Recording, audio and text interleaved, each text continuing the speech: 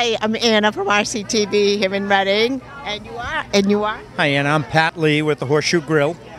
Pat. And where, where were you located? We're at 226 Main Street, North Reading.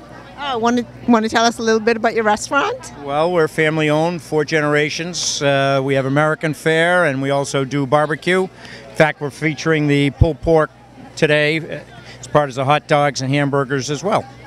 And you're mostly grilled. Any other uh, options for people when they come to your place? Uh, we have a fair amount of saute dishes, certainly sandwiches, salads, appetizers, small plates. So, pretty wide vari- variety on the menu. Great. And what are your hours?